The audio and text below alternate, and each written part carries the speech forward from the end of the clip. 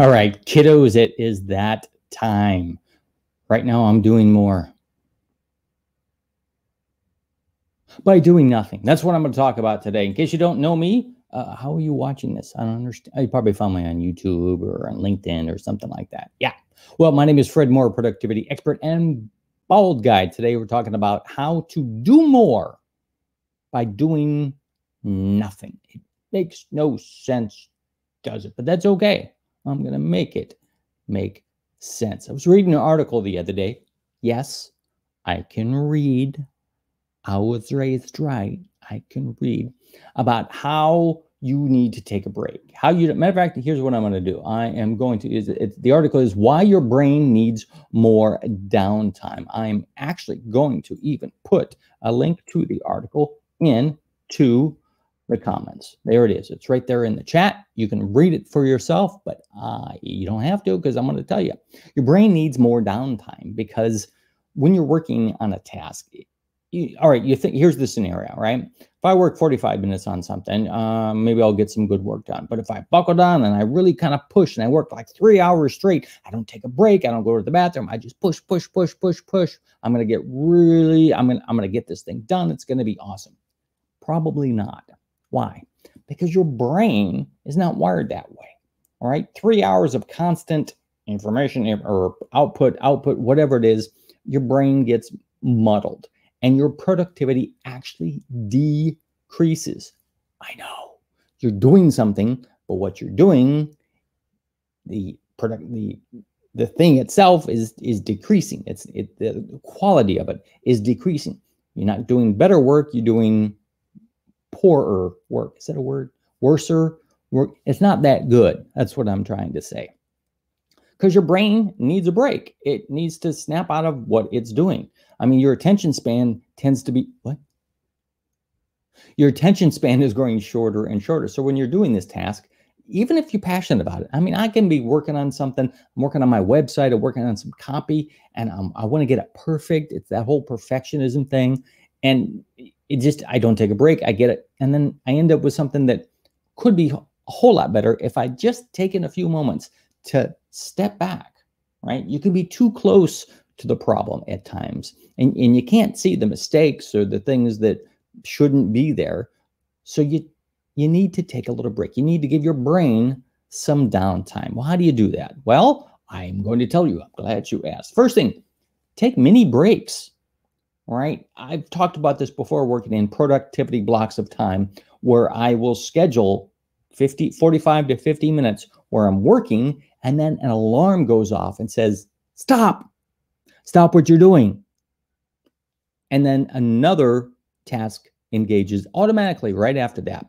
It's break time. Take a break, 10, 15 minutes, get up, walk around. Then that alarm goes off in 10 or 15 minutes to let me know. I was like, all right, get back to work because you know those breaks can turn into longer and not mini breaks anymore. They're macro breaks. Really long breaks is what I'm saying. You don't want to do that. So yeah, just schedule in these mini breaks and schedule them. Don't just say, oh, I'm going to take a break when I'm ready. No, no. Schedule the breaks. Okay. If you've got a doctor's appointment scheduled, you're going to stop what you're doing because I'm going to get going. Uh, the doctor's appointment is coming up soon. Mini break. Do it. Schedule it. Next, you uh, cr- create some buffer time in between your tasks. If you work like me and you schedule things on your calendar so they get done, I mean, if you have a work environment, obviously you need to do certain hours, you need to work certain hours, but schedule in there some buffer time because maybe this thing that you're working on, and maybe like, okay, well, I'm going to give myself 45 minutes to do this. That's not always practical. If it's something that has a deadline, right? If it's something that needs to get done, it doesn't matter if, oh, the alarm went off. Fred told me, sorry, boss, I'm fired. What do you mean I'm fired? It may take some more time. So anytime I'm doing some some big tasks that I'm guesstimating how much time it's going to take me to do, I will schedule in some buffer time in between the big tasks. So let's say I'm going to work on my website.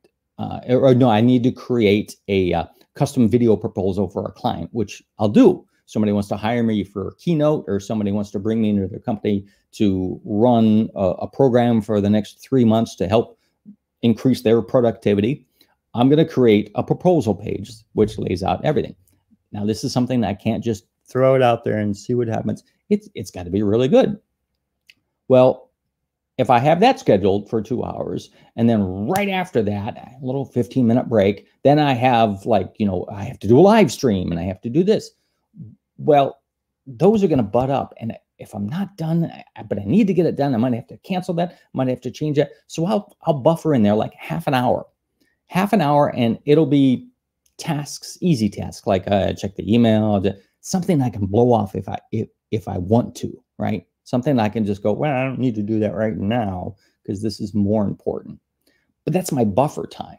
See, that's my buffer time. So if it does go over, uh, then I don't have to panic. I don't have to worry about it. Because once you butts into the next thing, then that gets delayed, then, then, that gets delayed. If you've been in a doctor's waiting room after 11 o'clock in the morning, you know exactly what I'm talking about because the 20 patients beforehand were all five minutes late, which accumulated. And now you're sitting there waiting for your 11 o'clock appointment and you maybe get in at 1.30. Yeah, that just happened to my wife yesterday. All right, finally, uh, schedule nothing time. Yeah, this is kind of like that break time, not like the buffer time, but I'm talking about schedule a time in your day. Try to do it at least once a day where you are going to do absolutely nothing. You're not going to check your email. You're not going to work on anything. You're not going to talk on the phone. You're not going to watch videos. You're going to do nothing. Try to do this in a place that's maybe quiet, that's free of distractions, or if, if there are distractions, let them be good distractions. You know, go outside, Take a look at the lake, at the trees, even if you're staring at the fence in your backyard, like at my house.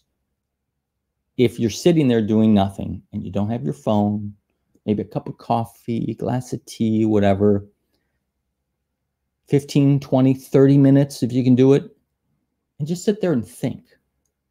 Just think. Don't think about any particular thing. Just let your mind go. It's going to give your brain that chance to go, okay, everything that happened today, yeah, okay. And you're going to start thinking of things. And I might have a notebook to write down ideas. I'm not going to act on those ideas, but I'm going to record them because if I don't, I'll forget them. And I'll be like, I had a great idea at my nothing time yesterday, and I have no idea what it is. Hopefully, I'll get that idea again today. I don't know if I will or not. But yeah, so I have a notebook but I'm not going to be checking my phone. I'm it's silent. I, will put up maybe a timer on my phone. That's about it. That's all I'm going to do with the phone. All right. Three simple things that you can do. Mini breaks, right? Schedule the buffer time. And this one here, schedule some nothing time. That's what I would advise you to do to get more done by doing this nothing. If you do want to get some more stuff done, maybe you want to get five hours back in your week. What concept, right? There's where you go. Five hours back.com. The number five hours back.com. There you will find a PDF that is yours for free, gratis, no dinero. Take it, go, run with it. You can use it all you want. Nine tips that will help you save a few minutes here and there throughout your week, which add up to at least five hours back in your week. Five hours that you can either use to get more work done or maybe use some of that five hours to do nothing and enjoy it. All right, that's it for me. Thanks for watching. I will see you guys later. Hey, let me check the comments real quick. Uh, hi, Bob Schmidt. Bob Schmidt is watching my high school teacher. You have no idea the influence you had on me. No idea. A good influence, by the way. Yeah, yeah, yeah. Good to see you on here, Bob. I got to go. Otherwise, we chit chat some more. But all right, keep an eye out for more videos. Like this on Facebook. Uh, share it with your friends if they want to get more time back. You can check it out on YouTube. I'm to be, this is going to be on LinkedIn. Do me a favor, just share this with all of your friends, your enemies, there's people that you're connected with. Help them get some time back too. I am out of here. See ya.